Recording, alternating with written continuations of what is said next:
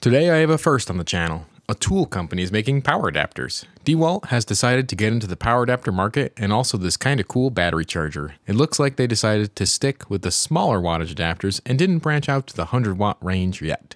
Although the battery pack claims to be able to supply that, so we'll have to check that and more out. They actually printed 49.5 watts on the packaging for a power adapter, which is oddly specific. We'll have to test that claim too. In this series, I try to answer the question, which power adapter do I want to get? The videos get technical, so hang on and always ask questions if you don't understand something. The performance is measured and compared to near competitors to see how each one stacks up. If you want to help out the channel, see the links on my webpage or in the description. Patreon is now live as well as the super button. Thanks to my current patrons. Let's get into this small adapter. The first obvious thing is the more retail friendly packaging. The plastic window so you can see what you buy. A bit more plastic than some, but there aren't any plastic wrappings on the adapter, so it's an easy open item. There is no user manual, so the back of the box represents the instructions. Overall, it does feel like a solid adapter with the little rubber baby buggy bumpers on the sides for protection. This adapter says it's patented for the location of the USB ports, and it doesn't block other outlets. I can see this being important in some places, but most of the time job sites are using extension cords, so maybe doesn't matter. The 49.5 is almost identical to the smaller adapter, but it adds more watts watts and some more advanced charging features. It is quite a bit larger for the wattage of the adapter, and it looks like the whole design doesn't block any ports mantra was abandoned here. The 65 watt adapter is in a kit with a battery charger and a cable. The charger is a black box. It looks like this one is a few screws short of being a complete product. For a tool class device, no ruggedization, and it doesn't even have folding plugs, so something went wrong on this one. It looks like this is manufactured by someone else though. The cable that comes with the kit is a 100 watt 5 amp USB-C cable. This will go into the next round of USB cable testing. It looks like January 2023 for that one, so get subscribed not to miss it. The battery charger is the main attraction to this kit. It is a very compact and useful tool for both charging and discharging and is compatible with the 20 volt DeWalt battery collection. It has a few basic indicators on the top and they could do with a little more information here, but it's good enough. The back has a USB-A and a USB-C port. The USB-C port is labeled as 100 watts in or out. I'll get more detail on this later on. A common theme with all these adapters is they have safety listings, which I always like to see. Even the battery adapter has a listing. These adapters do not share the same listing as they're all contract manufacturers. The smaller adapters are ETL, while the 65 watt is UL. As we saw, the smaller adapters are made by E-Affiliate and the 65 watt adapter are made by Channelwell Technology. The 65 watt adapter packaging weighs 145 grams and the power adapter weighs 138 grams. The cable weighs 33 grams, and the battery adapter weighs 134 grams. The packaging is heavy, but it's just a cardboard box, so it is recyclable. The 12.5 watt packaging weighs 32 grams, and the power adapter weighs 46 grams. The 49.5 watt power adapter packaging weighs 36 grams, and the power adapter weighs 141 grams.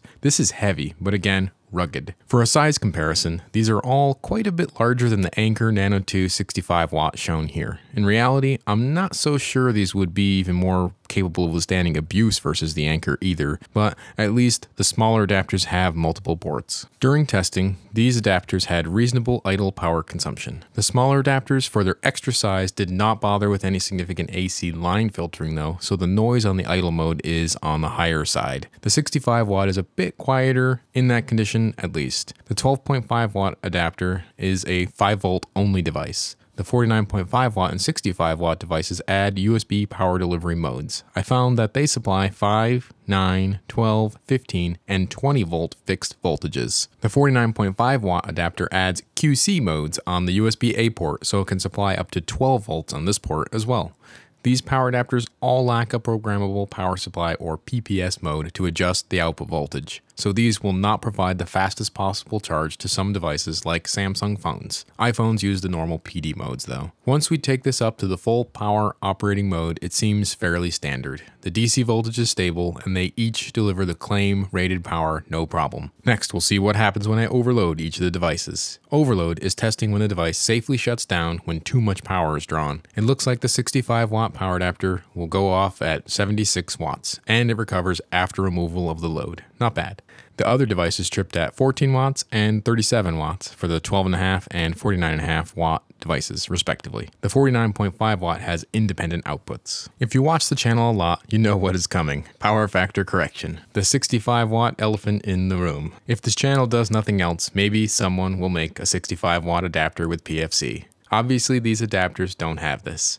On the lower wattage, it isn't expected, so these, as expected, have rather large peaking graphs, not following the sinusoidal shape of the yellow line, which would be the ideal shape for all the lines. Power factor correction is a technique to consume AC power as effectively as possible. The higher the power factor, the lower the comparable current, and therefore the lower the loss in wires and transformers that supply your power. The 65 watt adapter is absolutely pathetic when compared with a PFC enabled adapter with the same wattage. With electrical rates getting more expensive, the difference of just this adapter can be 3 to $10 per year with 2022 rates for residential customers. This is assuming it's always charging something though. All of these power adapters met the claimed Department of Energy 6 efficiency level and the idle power level for their respective tiers. With the larger size of these adapters relative to their power levels, the surfaces stayed within a reasonable temperature range during operation. The output voltages from all of these power adapters were within the USB specifications and stayed strong during all tests. When it says 20 volts, you get 20 volts. The battery adapter thing is probably the most interesting part of this whole bunch, and actually this is probably the one thing DeWalt should sell as an independent item, and have a few more options, more ports, different functions, but it looks like you have to get the whole kit. I know I don't want the 65 watt adapter. Anyway, the battery adapter, strapped onto a 162 watt hour 20 volt DeWalt compatible battery pack here, gives you a little blinking light to indicate that it powered up. Instantly, the ports are awake and the power is available. It looks like these stay awake if the battery's installed. This means the pack will drain if you leave it plugged in, but the good thing is the battery is removable. Let's power it up. First, the 100 watt USB-C port. It has the PD modes mentioned earlier and can do the full 100 watts no problem. It overloads at 106 watts. The neat thing is this port is totally independent of the other port. So the 12.5 watt USB A port works at the same time at full power without interrupting the USB C port. Nice. This is actually really useful. I'm not reviewing this as a power bank, so no efficiencies on this today. The device does not work as a UPS. It gets rather angry if you try and do that actually. It charges at about 65 watts maximum, so I understand why the 65 watt adapter is supplied with the kit now. Dream features would be a non-interruptible USB output, an extra USB-C port, maybe 30 watts, and a more advanced display. I like the concept here though. This will charge from any USB voltage. I tried with several adapters, including larger and smaller ones. This adapter that puts out 9 volts and 20 watts, no problem. The DeWalt 12.5 watt 5 volt only device, no problem. It will charge slower, but it will charge regardless of how you plug it in. I like this a lot too. The best thing about this is that the battery is replaceable and interchangeable, so when the pack is tired, you swap another one in. You don't have to wait for the whole power bank to charge up. This is very useful. I can see this creeping into some projects. If the price point was a little lower and if it was sold independently, they would be much more compelling. I will have to test this as a power bank at some point too. Okay, let's take a look at some data. The 12.5 watt power adapter isn't anything impressive. It is fairly high on the AC side, harmonic distortion, the power factor is low, and it really isn't doing anything special here. It does deliver the rated power it claims on the DC side, and it does work as a power adapter. The 49.5 watt continues this trend. The power numbers just aren't very impressive. This on its own is a chart topper and a loser though, since I don't have any other 49.5 watt power adapters. The 65 watt adapter continues the trend, even from a different manufacturer this time. This thing is just not going after an efficient or clean power supply design. It functions, but it is very low by comparison. I like the battery charger. This is really the win of the whole lot. USB power, interchangeable battery packs, the ability to use larger packs for more runtime,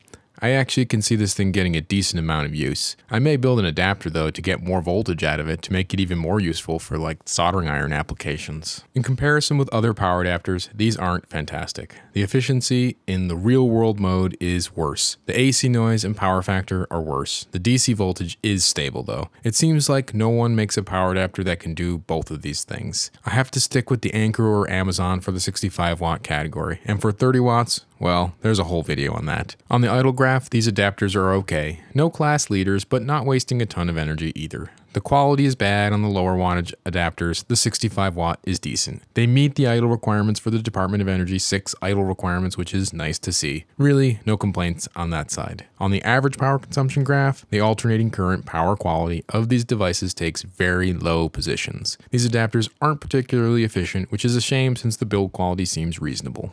Okay, Let's talk about power adapters. These things are kind of expensive. If you can find them, at the time of writing, the 49.5 watt is out of stock everywhere. The kit with the battery charger, I understand being a bit more at $100, but it would be nice if it came with a little better of a power adapter. The 12.5 watt is good enough of a power adapter to get you by, and the ports are at odd angles because they could, I guess. I think DeWalt should contact Anker or Ugreen for their next round of power adapters to hopefully get something a little better. In terms of the battery module, this is a nice piece of kit. I like the way it operates and the fact that the battery can be changed This sets it apart from other fixed power banks. I'll have to do some tests to see how this does as a power bank efficiency wise. So in a nutshell, if you want to charge all of your devices and have it cost a little more to do so, then get yourself some DeWalt power adapters. I think they went with function over efficiency here, making them a little more rugged for job sites and sacrificing features and efficiency on these. Okay, time to apply some stickers. These are tested and on the database. You can take a look at how they stack up. Oh, these do not stick to these weird surfaces well. Thanks for watching. Next week, I have no idea what the plan is. Check my website for upcoming videos. There's a schedule of release dates. I mean, not for next week though. I have many more of these adapters to get through, so many more videos in the future. Bye for now.